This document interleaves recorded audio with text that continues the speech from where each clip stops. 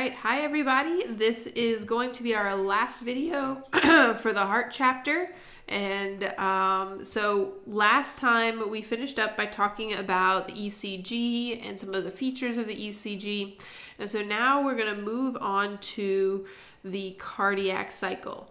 All right, so the cardiac cycle is just the cycle of the heart contracting and relaxing over and over again. All right, but we're going to break it down into all of its wonderful, detailed um, parts. Okay, so first of all, let's start off by defining uh, two really key terms that we're going to be using over and over. The first one is systole. And so, systole refer I'm just going to write the word systole over again. No, refers to contraction. All right, so systole is contraction. So you can have um, atrial systole, ventricular systole, um, if, you know, just depending on which one is contracting. And then diastole refers to relaxation. All right, so when they relax uh, after a contraction.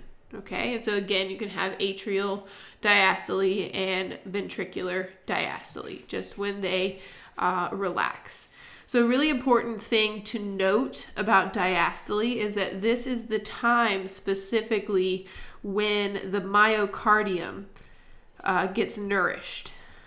Okay, so this is the time when that oxygen from the coronary blood flow and the nutrition, the you know the glucose and all that good stuff can actually be sent into those um, muscle cells. That's during diastole. So having a you know decent amount of time for diastole is critically important to um, the heart health and being able to function. Okay, and so when we talk about the cardiac cycle, you can think of one beat of the heart consists of the heart contracting, right, and then relaxing. So when we're talking about this, we're typically with systole and diastole when they're just using it as, you know, individual words, they're going to refer to the ventricles. All right? And so the duration of a heartbeat would be the ventricles contracting and then relaxing. All right? And so that would just be one cardiac cycle. All right? So one bout of those ventricles contracting and relaxing. Right, so we can also calculate beat duration, and um, you need to understand this concept. But on your exam, I'm not going to have you do calculations on the actual exam, but this concept is something you should be able to um, understand how you know these equations work. All right, so for beat duration, we can calculate it. All right, so we'll just say beat duration again. By taking uh, 60 and dividing it by the heart rate, which is going to be in beats per minute. Okay, and so um, heart rate, and so dividing 60 by that will cancel out, you know, the minutes because there's, uh, you know, 60 seconds in a minute, and so that will give us just how long an actual single beat of the heart is. Okay, so let's do kind of a typical example. All right, so if we take someone whose heart rate is maybe 75 beats per minute. All right, uh, and we plug that into our equation, so it would be 60 divided by 75, and that would come out to be 0.8 seconds. All right, so one beat of the heart would be 0.8 seconds. All right, so a little less than a second for a kind of an average heart rate of about 75 beats per minute. Okay, good. So now when we're talking about kind of these different stages of the cardiac cycle with ventricular diastole and systole and the different events that are happening. We're going to talk about the valves opening and closing. We're going to look at these graphs, all right? And so these graphs might be a little intimidating, but I'm just going to kind of tell you what they are really quick. Okay, so the purple one on the very top, right? So this one here that we're looking at is just showing the pressure in the ventricles, all right? And so it should make some logical sense when the ventricles are going to contract, that pressure is going to increase, all right?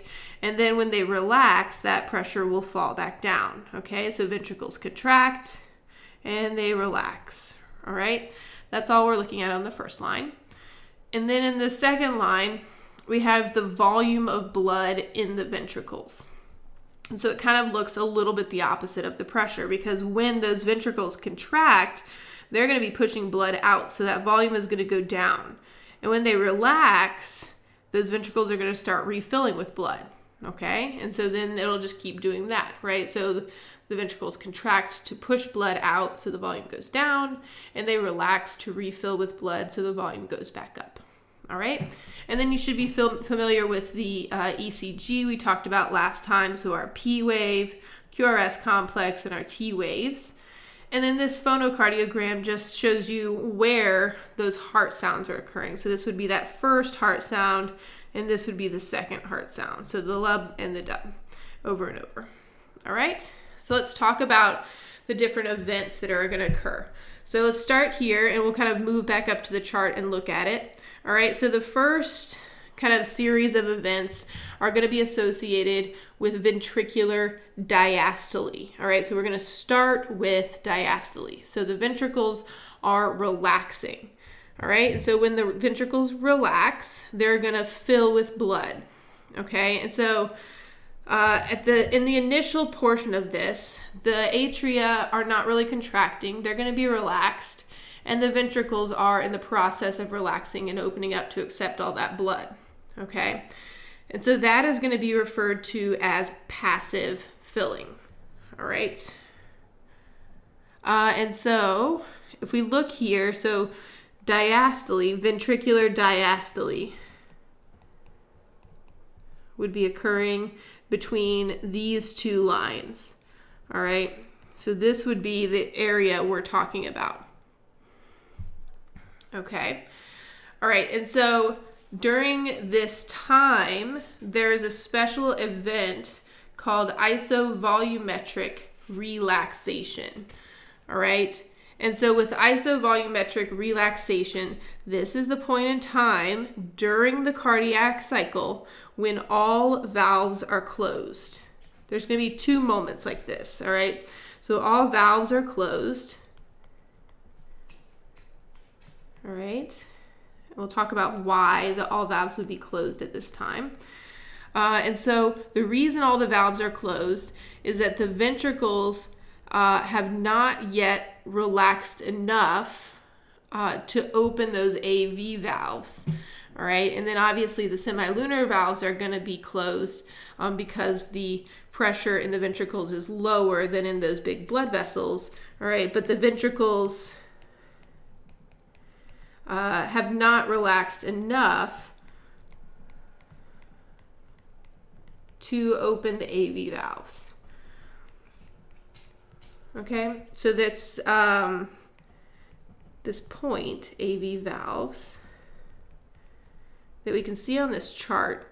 All right, and that is to be right here, right? So this line here would represent, and it's a very short period of time because time is on our x axis, right? So it's really a very brief time where the AV valves and the semilunar valves are both closed. Okay, so this is the point here where the semilunar valves close. And this is the point here where that AV valve opens. Okay, so the pressure in the ventricles is low enough to be below the pressure of the atria, and then those AV valves would open. Okay, and so then the semilunar valves, all right, whoops, will open up here, and then the AV will close here.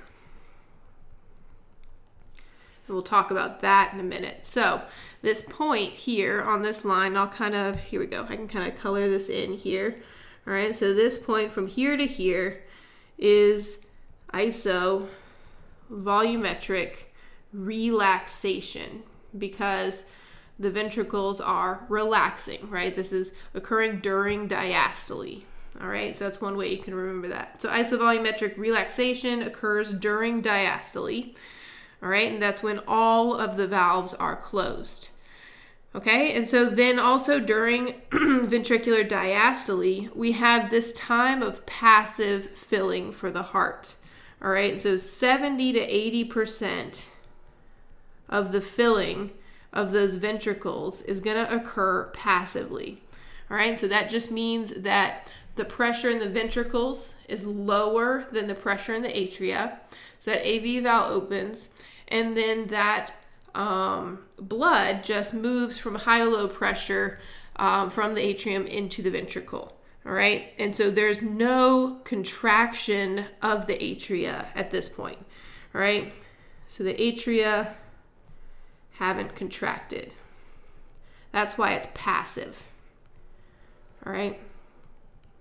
So that blood is just moving from high to low pressure from the atria to the ventricle. All right, no contraction from the atria yet. Okay. And so that would be when we're looking at our graph, all right, we said, you know, we're looking at the volume on this middle kind of green line. All right, so we have our ventricles are relaxing, so then they're starting to fill with blood. So this first segment here, that's going to be passive filling. All right, and so that's about 70 to 80%, and it's done without the uh, atria contracting. All right, so then for that last little bit, that will occur during atrial systole. All right, that'll correspond with the P wave of our, um, shortly after that P wave of our ECG. All right, so this will also cause an increase in atrial pressure. All right, and that is going to pump that remaining 30, 20 to 30% into uh, the ventricles. All right, so this will pump remaining uh, 20 to 30%. Okay? And so this atrial systole will start once the ventricles have completely relaxed. All right, so we need those ventricles to be totally relaxed so they can uh, receive that blood from the atria. Okay? So that's atrial systole, pumping that last 30%. You can actually see that here. So we have our passive filling for the majority of it, and then this last little bit of filling right here. All right, so this little segment, that will be from atrial systole, squeezing out that last little bit of volume into the ventricles. Okay. So then, after the ventricles have completely filled with blood, now it is their time to contract. All right, that'll put us in uh, ventricular systole. Okay, so during ventricular systole, the ventricles contract. All right, that's going to cause an increase in pressure in those ventricles. And so if we look at this picture, we can see that.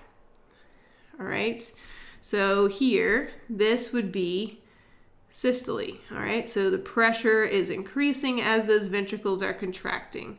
All right, so this segment from this line over to this one would be systole. All right. So the pressure in the ventricles is going to increase. During uh, ventricular systole, we have another moment where all of the valves are closed. All right, so this is all valves closed. So it's happening during systole. So this one's called isovolumetric contraction. Okay? And so the reason all the valves are closed is because the ventricles uh, have not contracted enough to open uh, that semilunar valve. All right, have not contracted enough to open the semilunar valves. All right, and so we can see that if we look back up on our graph up here, and I'll kind of highlight it for you. All right, you can see that section here, right? So our semilunar valves haven't opened yet, and our AV valves have closed. So this would be iso volumetric contraction. All right, that'll be right there. Okay? And that will happen during ventricular systole. Okay. And then lastly, uh, we have with our uh, cardiac cycle the ejection phase. And so this is just that time when the blood uh, is forced out of the ventricles. All right, so blood forced from ventricles. And so on our graph up here, we'll see that the volume of blood will dip quickly during this time, right? So this would be our ejection phase here. Okay, so we're just forcing the blood out of the ventricles. All right, so that is the cardiac cycle, and then we will go back to ventricular diastole. The uh, ventricles will start to re relax after they have um, contracted. Okay. All right, uh, and so with the cardiac cycle, one other calculation you should be aware of, uh, and conceptually this is very important, is that you can calculate the length of the cardiac cycle. All right, so cardiac cycle length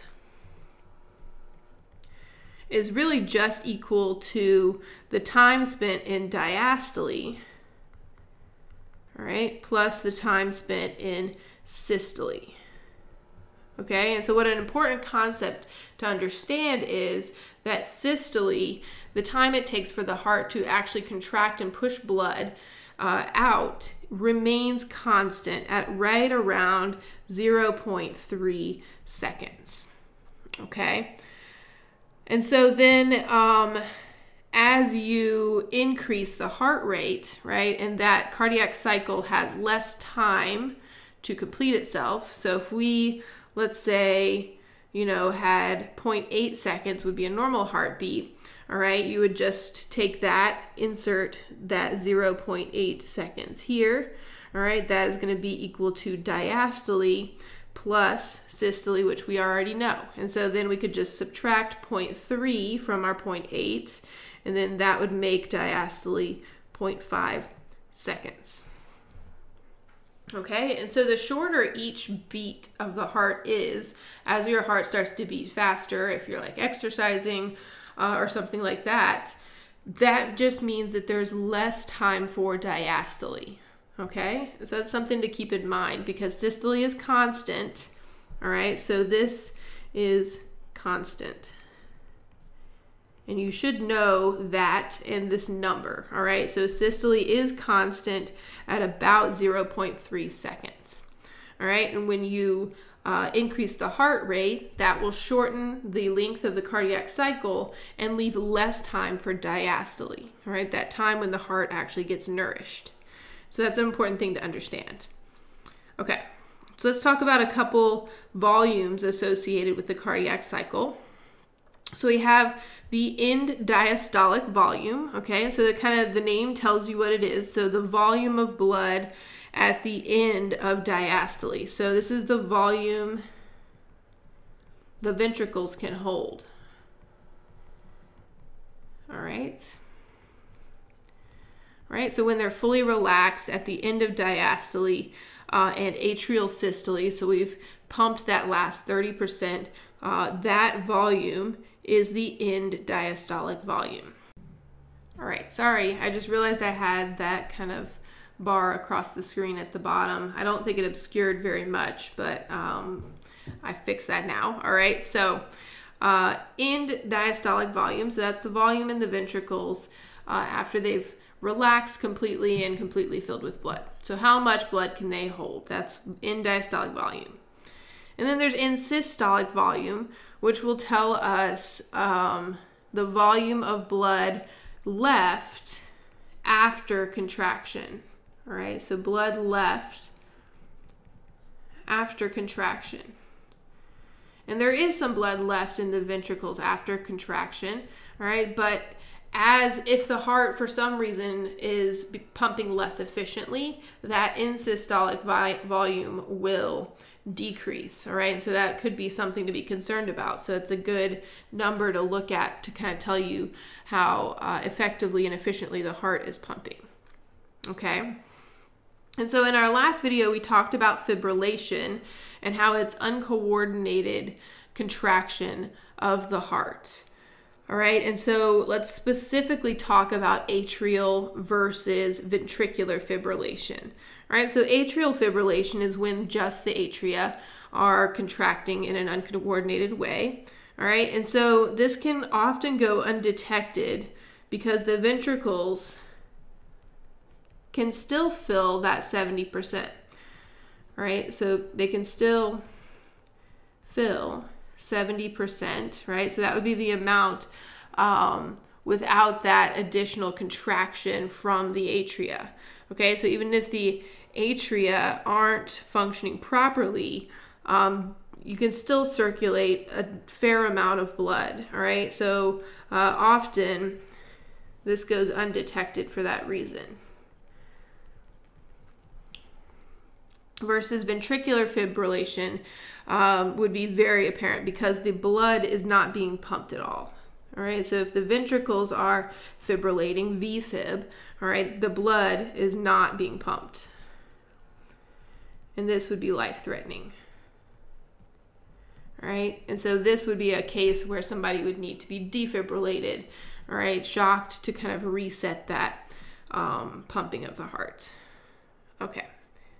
All right, so now let's talk about cardiac output. Okay, and so with cardiac output, uh, this is how much blood, right, so by definition, cardiac output is uh, the blood pumped in one minute. All right, so pumped by the heart in one minute. Okay, and so you can calculate uh, cardiac output by taking the stroke volume. All right, so the stroke volume is the volume moved during one contraction. Okay, so when the heart contracts, the ventricle contracts, um, the stroke volume is how much blood it's moving at that particular time. Okay, so to do cardiac output, you can take that stroke volume, multiply it by the heart rate, so how many beats in a minute, and that will give you the average blood being pumped every minute. And so on average, it's around five liters a minute. Okay. And so if you kind of think about it, we talked about the end diastolic volume and systolic volume just a second ago. So the amount of blood in the ventricles would be equal to that amount that was pumped out, the stroke volume, and the amount remaining in the ventricles after it's contracted, the end systolic volume. Okay, so they're all kind of related numbers. All right. Okay, and so um, if we kind of were looking at, there we go. If we're looking at this chart, all right, and so we can um, see that the, let me get my pen back here, right? So the end diastolic volume would be this volume, whoops, change the eraser, right? So here, this would be end diastolic volume. Okay, and then when the heart contracts, this would be the end systolic volume. So that's the amount of blood left in the ventricles uh, after contraction. And then the amount of the blood actually contracted that's moved out during contraction here, that would be the stroke volume. Okay? All right, and so then our last topic for this chapter uh, is gonna be how we can alter cardiac output. All right, so we know, so in a minute, approximately your heart can move about five liters of blood. But we know during exercise and that sort of thing that you can increase that amount. Okay, and so let's talk about that. All right. And so a word for that, all right, is cardiac reserve. So cardiac reserve is just a term that refers to how much the cardiac output can be increased. All right, and so that would be beyond rest. Okay, so how much can you increase cardiac output beyond rest? And so, um, in the people who are, you know, just the average person, not extremely athletic, right? Not necessarily a couch potato, but uh, in a norm, a normal non-athlete, that cardiac output can be increased four to five times, right? And uh, much more than that for people who are very, very athletic. Okay. All right, so let's talk about ways to do that. Okay, so if we remember this equation, our end diastolic volume is equal to stroke volume times the, or plus the end systolic volume. All right, so if we want to increase our um, cardiac output, all right, we could increase our end diastolic volume. So just the amount of blood that can be held by those ventricles. All right, so that's going to be the first way that we'll talk about. And so we can do that one by altering, altering preload. Okay, and so preload is just the stretch on the ventricles, right? So we can stretch the ventricles more, right? And putting allowing more blood to go in. And so there's a, an associated law with this. This is the Frank-Starling law. All right, so and that states that increasing stretch, so that's of the ventricles, will increase stroke volume. Okay, so they're connected. So as we increase stretch, that puts more blood in the ventricles. That will increase stroke volume, the amount, the amount of blood that's going to be pushed out uh, when those ventricles contract. Okay, so in addition to changing the preload, and increasing that preload, the stretch on the ventricles. We can also alter venous return. All right, so this is the amount of blood returning to the heart.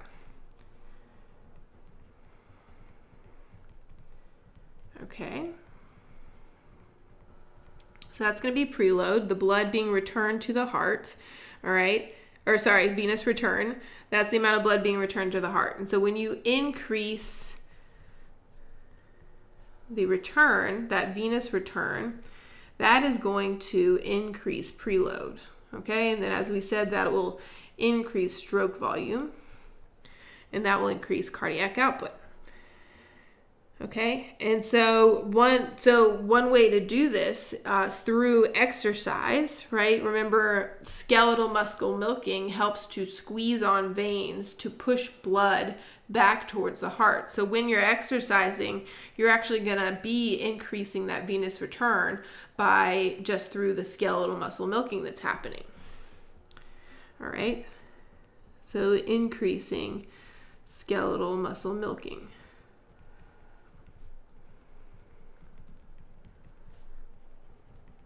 Okay. So that's going to be by increasing end diastolic volume. Then we can also go by, affect this by decreasing the end systolic volume. All right, and so we can do this uh, one by increasing the contractility of the heart, right? Just making it contract more forcefully, right? So this is how forcefully, the heart contracts. Okay, so if we want to push more blood out with each contraction, uh, we want to increase that contractility, make it contract more forcefully. Okay, and so there are um, agents that'll do this. So, one, the sympathetic nervous system will do this. All right sympathetic nervous system and epinephrine uh, will increase contractility. Okay, as will um, positive ionotropic agents. Okay, and so actually, epinephrine is one of those positive uh, ionotropic agents. All right, but there are a couple others. Um, so, calcium is also a positive ionotropic agent. And in addition to calcium, there is a drug called digitalis. It's actually a plant. All right. Digitalis. that can uh, have the same effect of increasing contractility. Okay. So you can increase co- contractility or you can decrease the afterload. All right. So the afterload is the pressure uh, in the major vessels that leave the heart. All right. So in the vessels leaving the heart. Okay, so that would be like the the aorta and that pulmonary trunk. So if you decrease that pressure that the ventricle has to push against, then that is going to help to make it easier for the ventricle to push out more blood, right? It doesn't have to work quite as hard. Okay, so hypertension, which is high blood pressure, this actually would counteract that, right? So this would increase afterload. Okay, so this uh, so hypertension might make it a little more difficult for somebody to increase their cardiac output. Okay, our last topic is going to be just a couple um, ways to regulate heart rate. Okay, and so some of these you should already be familiar with. Um, so one of the major centers for regulating heart rate is going to be in the medulla. All right, so in the medulla there are cardiac centers right, that are going to help to monitor heart rate. Okay, and so then you also learned in A&P 1 that the sympathetic nervous system uh, can function to increase heart rate through the release of epinephrine. All right, among uh, you know many other effects, that's one of the things it does. And so this would happen by uh, acting on that SA and the AV nodes, right? Those pacemaker nodes. So they would alter the rates of those pacemaker nodes. Okay, and then the parasympathetic nervous system can also um, alter those um, those pacemakers, right? They're just going to have the opposite effect. So this would decrease heart rate. Okay, and so the parasympathetic nervous system acts through acetylcholine, which hopefully you learned in A&P 1 versus the sympathetic nervous system, which acts through epinephrine. Okay.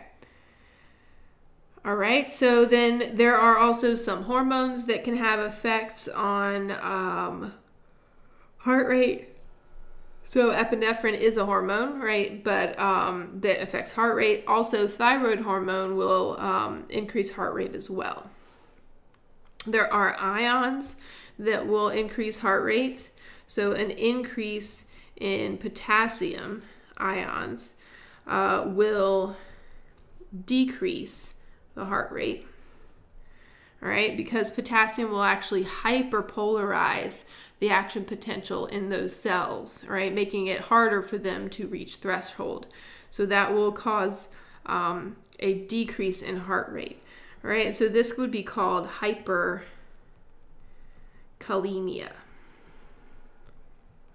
All right, so hyperkalemia would be elevated levels of potassium in the blood, and that will decrease heart rate. Okay, and so then also an increase in calcium can have an effect on heart rate. All right, so an increase in calcium will increase heart rate. Okay, and it does that by um, increasing the contractility of the heart. All right. And then lastly, we have a category of um, molecules called positive chronotropic factors. Okay, so positive ionotropic factors or agents um, increased contractility. Positive chronotropic factors are going to increase heart rate. All right, so these are things that increase heart rate. So a few examples uh, would be atropine, uh, dopamine actually increases heart rate as well. Uh, so a lot of times, if you watch like medical dramas when they're trying to restart someone's heart, uh, they'll push dopamine uh, in addition to epinephrine. All right, and that's because it's a positive uh, chronotropic factor. Epinephrine. Okay. All right, so that is it for the heart chapter. Um, go ahead and make sure you're studying and preparing for your exam. Uh, and I will talk to you guys for our next chapter on blood vessels.